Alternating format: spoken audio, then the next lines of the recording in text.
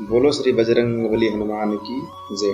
दोस्तों, चलिए जानते हैं, भक्तों के सदा सहायक श्री हनुमान जी के एक बहुत ही प्रसिद्ध मंदिर के बारे में। संकट मोचन हनुमान मंदिर, वाराणसी। वाराणसी में अस्सी नदी के किनारे पर स्थित संकट मोचन हनुमान मंदिर भारत का सबसे पवित्र हनुमान मंदिर है। इस प्रसिद्ध मंदिर में हर साल भगवान राम और हनुमान के हज़ारों भक्त आते हैं। ऐसा माना जाता है कि इस मंदिर की स्थापना वहीं हुई है, जहाँ महाकवि तुलसीदास को पहली बार हनुमान जी का स्वप्न आया था। संकट मोचन हनुमान मंदिर की स्थापना कवि तुलसीदास जी ने की थी। संत तुलसीदास जी के अंतिम दिनों में अपने बाह भुजाओं के असहनीय दर्द की अवस्था में उन्होंने संकट मोचन महाराज के समक्ष हनुमान वाहुक की रचना किया था। हर मंगलवार और शनिवार हज़ारों की संख्या में भक्त भगवान हनुमान को पूजा अर्चना अर्पित करने के लिए आते हैं। संकट मोचन मंदिर वाराणसी के रेलवे स्टेशन से लगभग 11 किलोमीटर और रोडवेज़ बस स्टैंड से इतनी ही दूरी पर और बी से तीन किलोमीटर की दूरी पे स्थित है। संकट मोचन मंदिर जाने के लिए